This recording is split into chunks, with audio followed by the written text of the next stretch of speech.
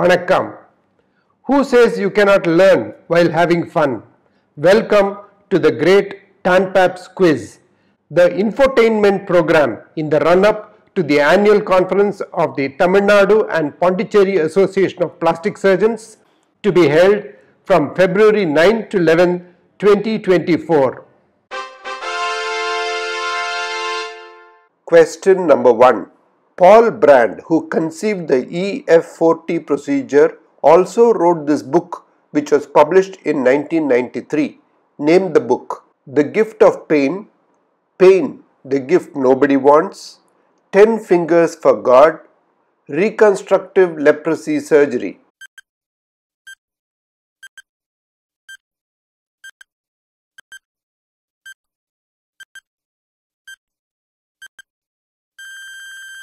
And the correct answer is Pain, the gift nobody wants.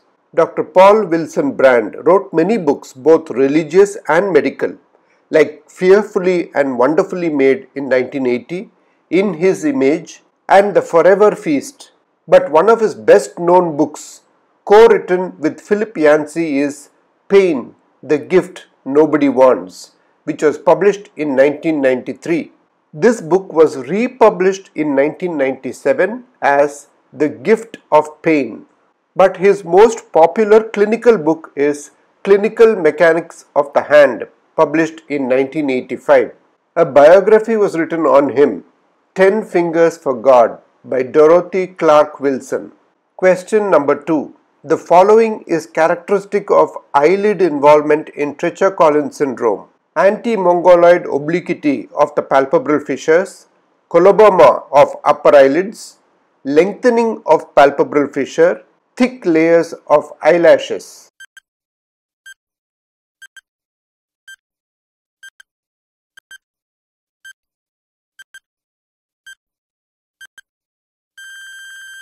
The correct answer is anti-mongoloid obliquity of palpebral fissures.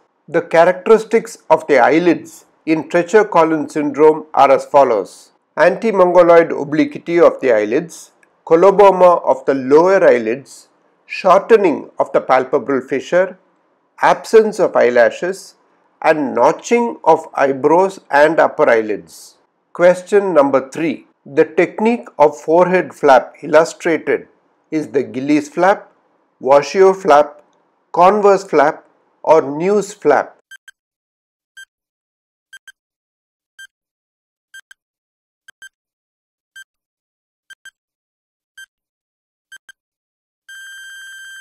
The correct answer is the converse flap. There are many designs of flaps that can use the skin from the forehead for reconstruction of structures on the face. Some of these designs are the converse scalping flap used for reconstruction of defects on the nose, the oblique forehead flap, the median forehead flap, sometimes known as the bishop mitre flap, the New's sickle flap, the Gillies up and down flap, the Washio flap that is taken from the postauricular region but the pedicle is based on the forehead skin and the horizontal forehead flap. Question number 4. Zones of abdominal wall blood supply have been described by Huger, Bozola, Hartrampf or Ian Taylor.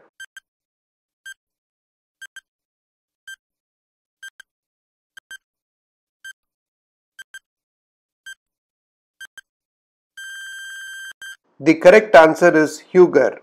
Huger described different zones of the abdominal blood supply. Zone 1 was the area fed anteriorly by the vertically oriented deep epigastric arcade.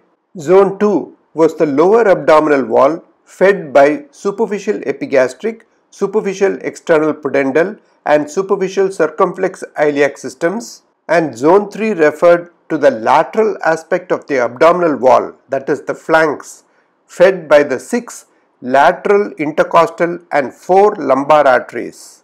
Bozola, on the other hand, published a classification including five different groups of aesthetic deformities of the abdomen with assigned operative procedures. Question number 5. According to the Hallock classification of flaps, The following is described as chimeric flap, composite flap, compound flap or conjoined flap.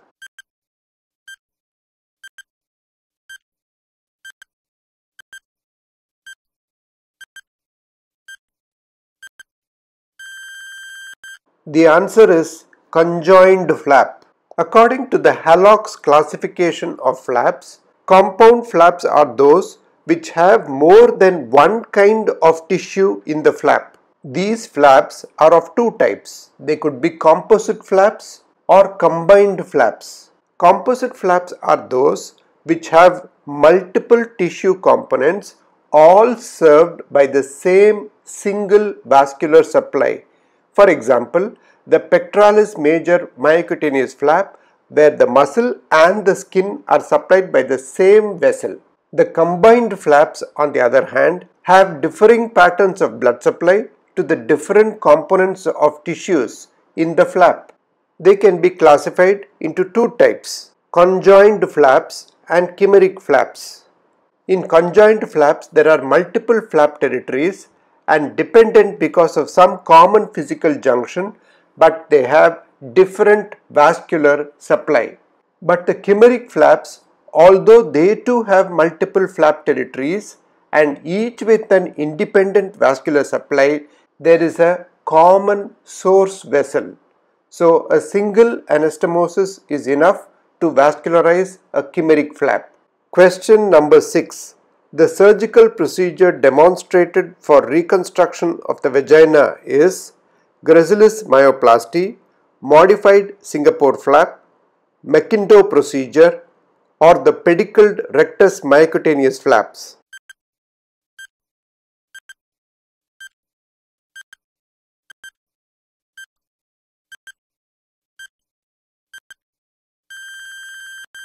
The correct answer is the modified Singapore flap.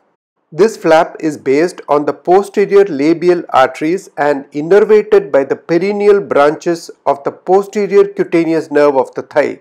The flaps are raised in the thigh crease lateral to the hair-bearing labia majora. The posterior skin margin is marked at the level of the posterior fourchette. The skin, subcutaneous tissue, deep fascia of the thigh and the epimysium of the adductor muscles are raised in the flap. Posteriorly, the base of the flap is undermined at subcutaneous level to facilitate rotation and insetting. These flaps are raised on both sides and inset by tunneling under the labia majora or by division of the labia at the level of the fourchette. The donor site is closed primarily on both sides. Question number 7. In true ptosis of the breast, the following is true. Inframammary fold position is fixed normal. Parenchymal position is mobile descended. Clavicle to nipple distance is normal. Nipple to fold distance is elongated.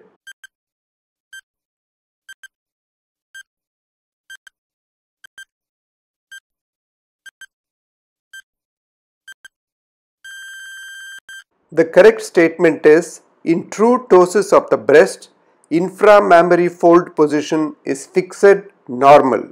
True ptosis of the breast must be differentiated from glandular ptosis, parenchymal maldistribution and pseudoptosis.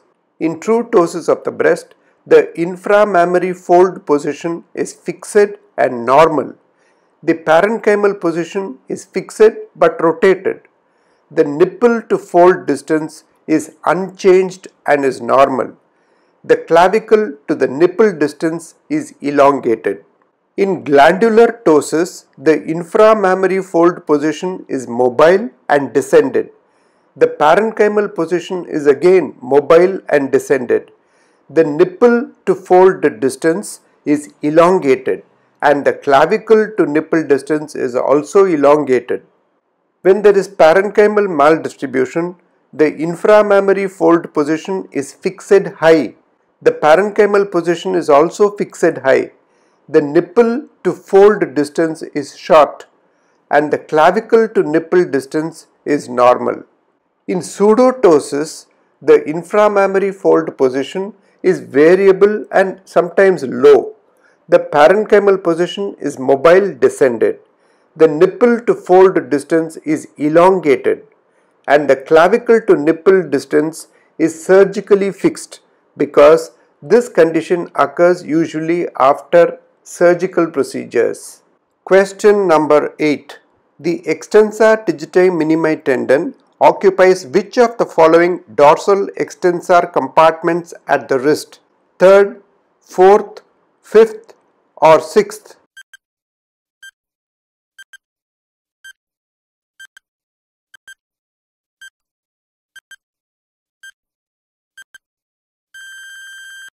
The correct answer is the fifth dorsal extensor compartment. There are six dorsal extensor wrist compartments, the first being posterior or dorsal to the radial styloid, the second and third compartments being on either side of the Lister's tubercle on the dorsal aspect of the lower end of the radius, the fifth and sixth compartments on either side of the ulnar styloid and the sixth compartment dorsal to the prominence of the ulnar head. The first compartment contains the abductor pollicis longus tendon and the extensor pollicis brevis tendons. The second compartment comprises the extensor carpi radialis longus and extensor carpi radialis brevis tendons. The third compartment comprises the extensor pollicis longus tendon. The fourth compartment comprises the extensor digitorum communis tendons and the extensor indicis proprius tendon. The fifth compartment comprises the extensor digiti minimi and the sixth compartment contains the extensor carpi ulnaris tendon. Question number 9. One of the landmarks to commonly predict the course of the temporal branches of the facial nerve is the proximal third of the palpable zygomatic arch, 1.5 centimeters medial to the tail of the eyebrow, parallel and adjacent to the inferior temporal septum or immediately inferior to the sentinel vein that is the medial zygomatico-temporal vein.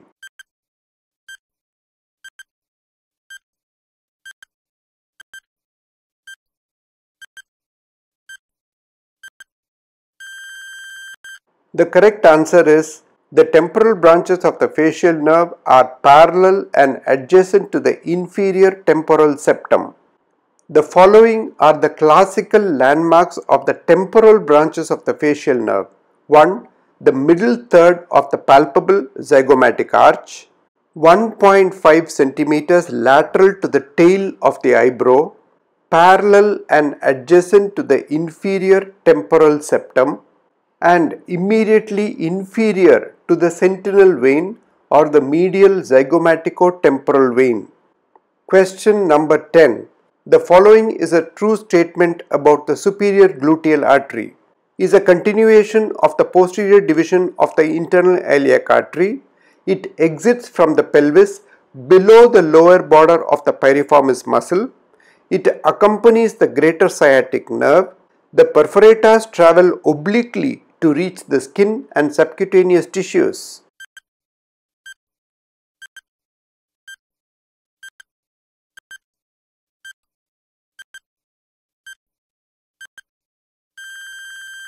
The correct answer is the superior gluteal artery is a continuation of the posterior division of the internal iliac artery. The vessel runs dorsally between the lumbosacral trunk and the first sacral nerve. It exits from the pelvis above the upper border of the piriformis muscle where it quickly divides into both a superficial and deep branch. The perforators from this vessel travel straight to reach the skin and subcutaneous tissues unlike the perforators from the inferior gluteal artery that travel obliquely. I hope you liked the video. I enjoyed making it. Please register for the TANPAPS 2024 conference, a wonderful scientific and academic feast where many innovative and interesting sessions are being planned.